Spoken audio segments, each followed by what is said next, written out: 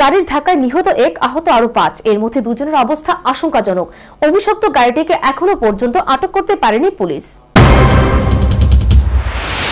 সাদা রঙের ইন্ডিকা গাড়ির তাণ্ডব রাজধানী সহ শহরতলির বিভিন্ন এলাকায়। ওই গাড়ির চাকায় পিষ্ট হয়ে মৃত্যু হলো এক ব্যক্তির, আহত আরও পাঁচ। এর মধ্যে দুজনের অবস্থা আশঙ্কাজনক। তবে এই অভিশপ্ত গাড়িটিকে আটক করতে পারেনি পুলিশ। প্রত্যক্ষদর্শীদের মতে, গাড়ির চালক মদমত্ত অবস্থায় থাকার ফলেই এই দুর্ঘটনা।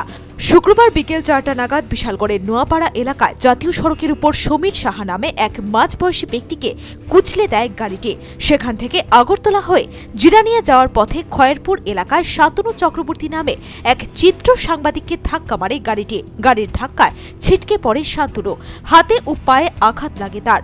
কিছুদূর এগিয়ে সুকান্তপল্লী এলাকায় আসতে ছায়ারানী সূত্রধর ও লালমোহন সূত্রধরকে ধাক্কা মারে গাড়িটি। একই সাথে ধাক্কা মারে রঞ্জিত দেবনাথ ও নেপাল দেবনাথকে। সাথে সাথে চারজনকে নিয়ে যাওয়া হয় জিবি হাসপাতালে। এই চারজনের মধ্যে দুজনের অবস্থা আশঙ্কাজনক বলে জানা যায়। Bureau report, news Vanguard.